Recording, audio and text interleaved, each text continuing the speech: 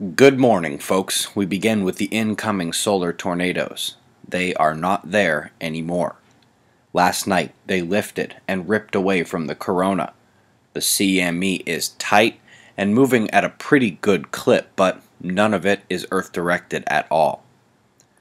A few hours after that eruption, a smaller pop triggered a north moving solar tsunami away from the active region just ahead of where the filament released.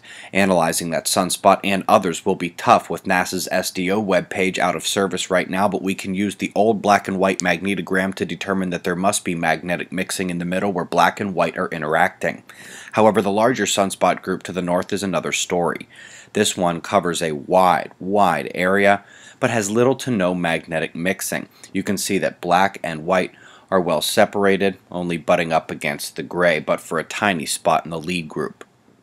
Coming to spaceweathernews.com, we find a one day uptick in flaring, and that's about it. We're back down this morning.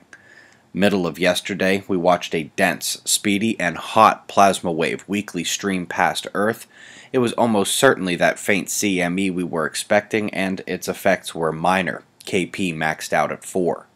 The story of the day, week, month, maybe the story of my tenure on YouTube is that the Milky Way galaxy has just woken up.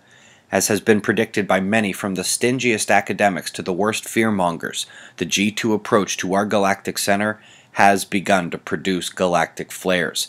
There could be CME like effects in what some have called superwave surges, and I might add that galactic energetic particle events should be considered in the mix too. You see, ever since we've begun watching it, it appears the galactic center flares once every 10 days, but since the close approach of our galaxy's version of Comet Neat, this year, the center has begun flaring almost every single day. Of course, there is the time delay, so these things happened a long time ago, but the observable evidence comes right before the actual felt effects, and that's all the time when it comes to space weather. So a discussion must come soon about what these flares could mean for our solar system and our Earth. Other top stories today include Rosetta's water cycle on the comet, zoomed in on the neck and analyzing water and temperature, etc. Excellent graphics and explanations. There is a lot of water up there. Also got a link to NASA's latest phytoplankton story. A serious decline in the northern hemisphere has taken place. Read all about it at the link below. Top tropical event right now is actually going to swing eastward towards China soon. Hawaii is still waiting for something to happen to its southeast. Still got central U.S. energy flow to the north and that low at the east coast near Florida. The same northern convergence has my eye in northern Europe, but also don't sleep on that Mediterranean low between Italy and Greece. Down under the top watch is the convergence line approaching Perth from the western waters of the Indian Ocean.